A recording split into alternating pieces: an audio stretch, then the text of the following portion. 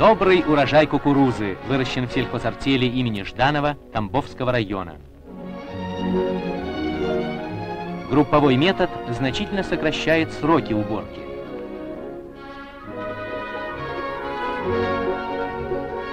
Механизаторы Виктор Ермаков и Андрей Ильичев работают с превышением графика.